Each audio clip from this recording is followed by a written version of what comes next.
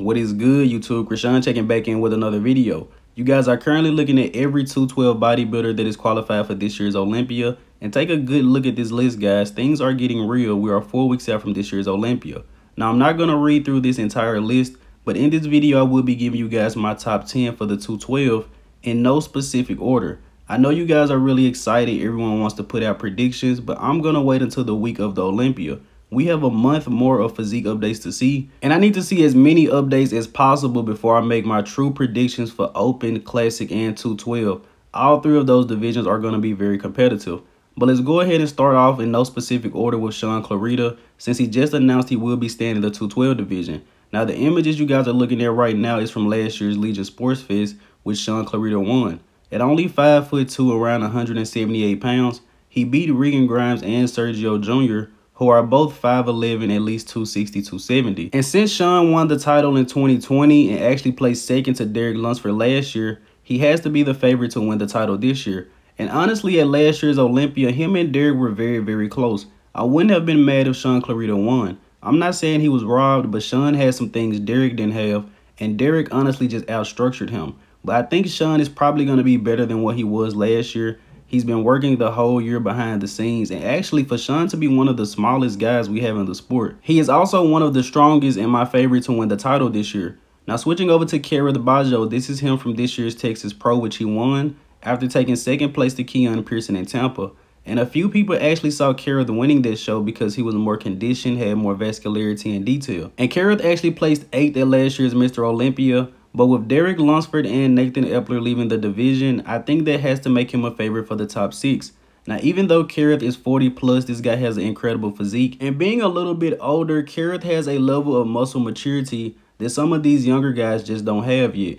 I believe Kerrith Bajjo would definitely be in that top 10 at this year's Olympia, maybe even the top 6. And let's switch right over to the prodigy Keone Pearson. This is Keone from this year's Tampa Pro, which he won, beating out Kerrith Bajjo. And I noticed Keone didn't have on any oil at this show for some reason. But as we all know, Keone Pearson has the genetics to be 212 Mr. Olympia, but can he nail his conditioning? And I've been really high on Keone this year. He's working with Patrick Tuor, who is really good with getting guys in shape. But as I just mentioned in my last news video, a lot of these guys are very, very conditioned, have a lot of muscle maturity. I mean, the top two guys, Shaun Clarida is 40, Kamal Elgargni is 50 plus. These guys have veins running through their entire body. So I think Keone may just need a little bit more time to grasp more muscle maturity. But then again, I don't think Derek Lunsford displayed more detail than Shaun Clarida or Kamal Elgargni from the front. He really outstructured them. So is it possible that if Keone comes in peeled, his structure can carry him the rest of the way? Now switching over to Oleh Kryvyi, one of my favorite guys in this division. The image on the left was from last year's Prague Pro, which he placed second to Ahmad Ashkanani. And the image on the right was when he won the big man weekend in the 212 division. Open was actually won by Angel Calderon at that same show. This guy has made a lot of improvements and he was actually sixth at the 2020 Mr. Olympia. I believe he's going to be in the top six this year. But also a fun fact, I think he's competed against Angel Calderon three or four times has been unable to beat Angel. But as you guys can see from the back of Oleh Kryvyi, striated glutes is not going to be enough to dominate 212. You have to be conditioned from head to toe. Now, speaking of Angel Calderon, let's talk about him next. This is from last year's Romania Pro, which he won, beating out Ahmad Ashkanani. And then he went on to the big man weekend, winning open, beating out Emir Omeragic. Angel Calderon was fourth place at last year's 212 Olympia. A lot of people don't really talk about this guy. He's a little bit overlooked. I believe he could bring the back up a little bit, maybe even have a little bit more legs. But as you guys can see from these images, Angel comes in peeled top to bottom. This guy is hard as nails and this is why he is top four at the Olympia. This guy's had a whole year off, so I think he's definitely going to come in improved. And he's been working his way up the ladder. Before placing fourth, I believe he placed fifth or sixth the year before. Now switching over to Kamal Elgargni, the 51-year-old legend.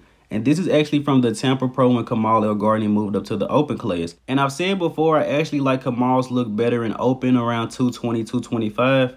But with this being potentially his last year competing, he wants to go out with a bang and go for the 212 Olympia title. Now, Kamal placed second in Tampa behind Akeem Williams and ended up slipping down to fourth at the Texas Pro behind Andrew Jack, Martin Fitzwater, and Quinton Eriya. But going into this year's 212 Olympia, he definitely has to be the favorite for first or second, being a former champion and not being out of that top three for the past three years. I think it's going to be a battle between Kamal and Shaun Clarida more than likely. Kamal brings a crazy level of conditioning, and at 51 years old, I'm not sure what him and Chris Aceto are doing, but it seems like Kamal Elgargni is improving, and I wouldn't be surprised if we see the best version of him in December. And next, we're going to talk about Nasser Sayed or Nasser Muhammad. I believe this guy could actually be a dark horse for this year's 212 Olympia. He won the Arnold Classic UK and actually placed 7th at last year's Mr. Olympia, one spot ahead of Kerrith Bajjo. And as I mentioned, Derek Lunsford number one, Nathan Epler number five are not competing this year. And with Nasser placing seventh last year and two guys ahead of him moving out of the division, he definitely has to be a favorite for that top five. But I don't really see this guy talked about a lot, and me included. I'll start swinging Nasser into some news videos. Now switching over to Ping YunLong, for some reason I could not find the pictures from the Thailand Pro, so we have to work with this video. As you guys know, Ping is one of my favorites going into this year's 212 Olympia. He has a crazy wow factor, comes in very conditioned, has world-class legs. My only worry about Ping, I can't really figure how to place him between these guys. I believe he's about 5'7", which may make him the tallest guy in the division. I just can't mentally compare him to guys like Shaun Clarida, Keon Pearson, but he's definitely going to be in the mix. Now, switching over to Ahmad Ashkanani, this guy's in the mix at every single 212 Olympia. This is him from last year's Romania Pro, which he lost to Angel Calderon, placing second but he went on to win the Saudi Arabia Pro, I believe. Ashkanani has placed as high as second at the 212 Olympia to Flex Lewis. His main knock, as you guys can see here, he has a lot of vascularity, comes in good condition, but just doesn't seem to have much separation in the quads. But Ahmad has never been out of the top six at the Mr. Olympia. And so far, I've given you guys nine guys who I believe will be in the top 10. But picking the last one was very, very hard, so I decided to go with four guys. Peter Molnar, Bo Lewis, Lucas Coelho, and Hassan Kalateh.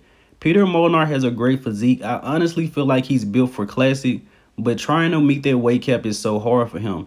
Peter's legs could hold him back a little bit, but the upper body is crazy, good condition, and also a good poser. Switching over to Bo Lewis.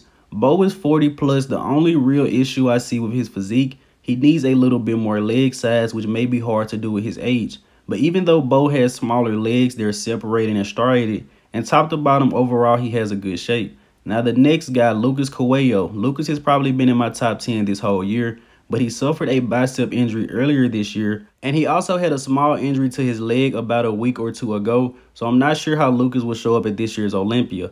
And last, Hassan Kalateh, a guy a lot of you people probably don't even recognize. He won this year's Toronto Pro and actually moved up to open in Vancouver. He placed third behind Ian Valliere and Antoine Vaillant, moving up from the 212 division. Do not be surprised if this guy ends up in the top 10. But this was basically 13 guys I guess I would have placing in the top 10. The first 9 guys I pretty much have for sure placing in the top 10. Just that last spot is somewhat of a wild card. But I actually do have one wild card for this show. And that is Eduardo Correa. Eduardo just qualified for this year's Olympia by winning the Fit Power Show. He took two years off from the stage after suffering some serious injuries and going through a lot of surgeries. This guy brings a crazy level of conditioning, detail, muscle maturity that some guys just don't have. If you come in off to this year's 212 Olympia, you will get beat by Eduardo Correa.